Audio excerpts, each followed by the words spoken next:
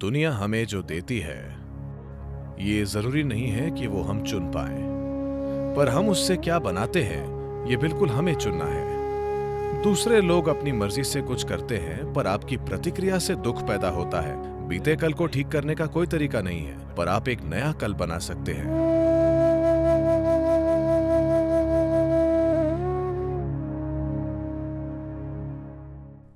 नमस्कारम सदगुरु। मेरी एक बचपन की दोस्त एक असहज पारिवारिक माहौल में पली बड़ी है, क्योंकि उसके माता पिता के बीच अजीब रिश्ता था, जिससे उसे प्यार की कमी महसूस हुई और उसने लगातार झगड़े देखे। तो कई वर्षों में मैंने उसे बहुत ही अलग थलग देखा है। उसे प्यार में विश्वास नहीं है, उसे रिश्तों की शक्ति में विश्वास नहीं है। तो ऐसे जहरीले रिश्तों के गलत असर से हमें कैसे बचना चाहिए? देखिए, सभी अपने दुखों के लिए कोई ना कोई बहाना ढूंढ रहे हैं। मेरे माता पिता ऐसे थे, इसीलिए मैं ऐसी हूँ। ये ठीक नहीं हो सकता, क्योंकि अब हम आपके माता पिता को नहीं बदल सकते, ठीक है? हेलो? क्या हम उन्हें अब बदल सकते हैं?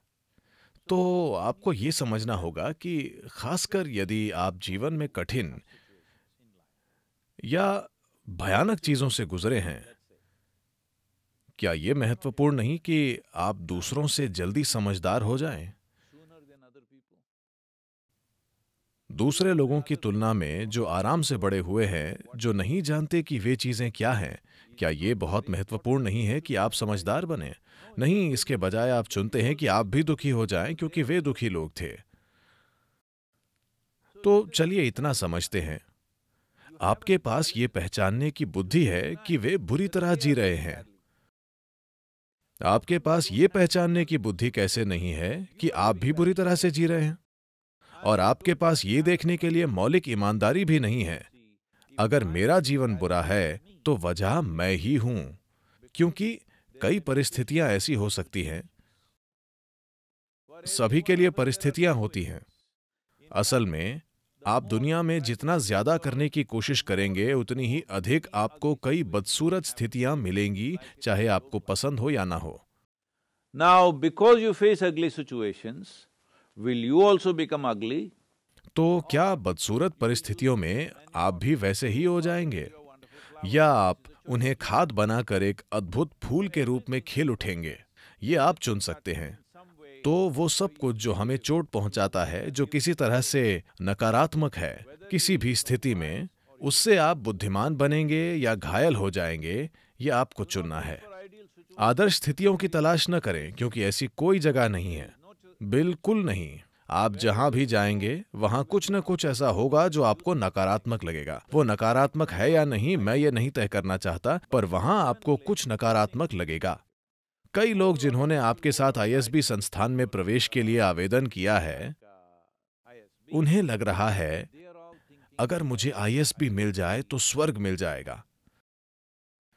पर मुझे यकीन है कि आपकी संस्था में कई लोग सोचते होंगे कि यह बेकार जगह है, जो राजनीति और बकवास से भरी हुई है। क्या ऐसे लोग नहीं हैं? हेलो मुझे यकीन है कि हैं। आप वैसे मत बनिए, क्योंकि हर जगह मुद्दे होते हैं। ठीक है? जहाँ दो लोग हैं, वहाँ एक समस्या है। हम इन मुद्दों को कैसे संभालते हैं, ये इस पर निर्भर करता है कि क्या हम इनका सचेतन उत्तर देते हैं, या हम आदतों से मजबूर होकर प्रतिक्रिया देते हैं। इससे तय होगा कि हम खुद को कैसे चलाते हैं। ये पूरी दुनिया में एक चलन बन गया है, क्योंकि उन्होंने फ्रॉयड और मेस्लो के लेख पढ़े हैं, उन्होंने यूरोपीय मनोरोग संबंधी चीज़ें पढ़ी हैं, और सभी मनोचिकित्सक बन गए हैं।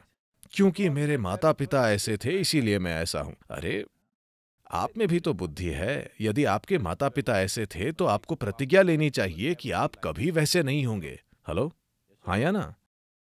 अगर आपके माता पिता बुरी तरह जीते थे, अगर ये सच है, मुझे तो ये भी नहीं पता कि वे बुरी तरह जीते हैं या नहीं। ये उनकी धारणा है, ठीक है? हम नहीं जानते कि वे कैसे जीते थे, पर उनकी बातों को सच माने तो अगर वे बुरी तरह जिए तो क्या ये आपका काम नहीं है कि आप कभी ऐसी गलतियाँ न करें, जैसी कि आप अपने जीवन में कर रहे हैं? क्या मानव बुद्धि ये नहीं कर सकती?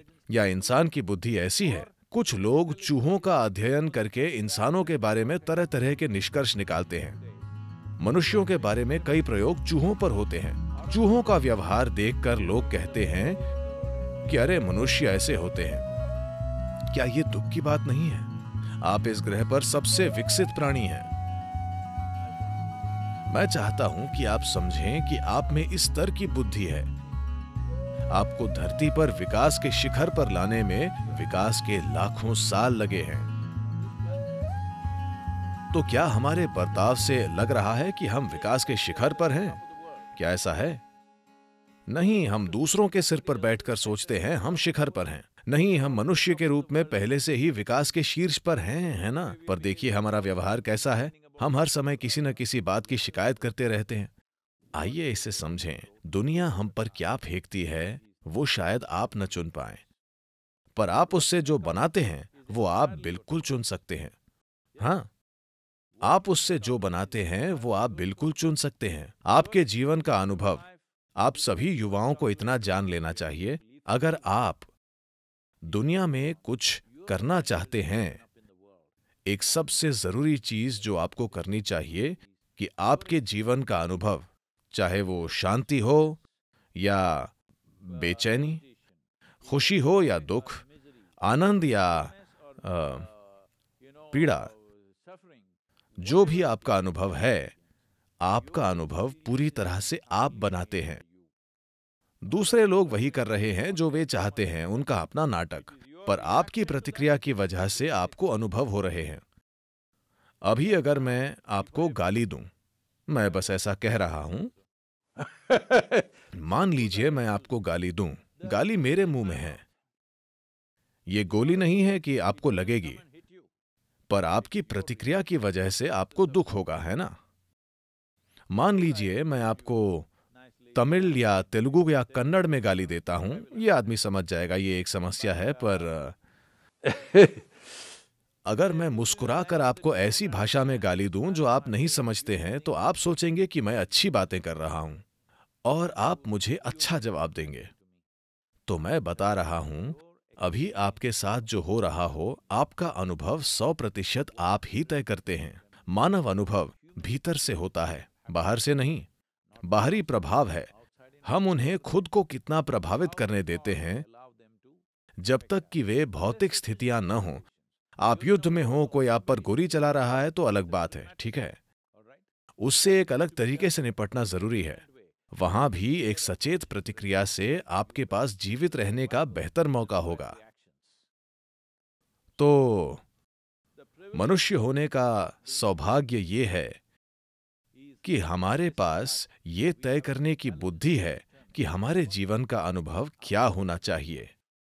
दूसरे जीव स्वाभाविक, सहज, मजबूरी से भरी प्रतिक्रिया देते हैं। हमें इससे ऊपर होना चाहिए, पर अधिकांश मनुष्य इसके खिलाफ जाकर आदतों से मजबूर होकर बर्ताव कर रहे हैं।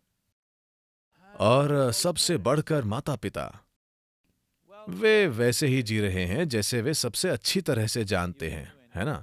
उन्हें कुछ बेहतर पता होता तो वे बेहतर करते। वे अपना सर्वश्रेष्ठ कर रहे हैं।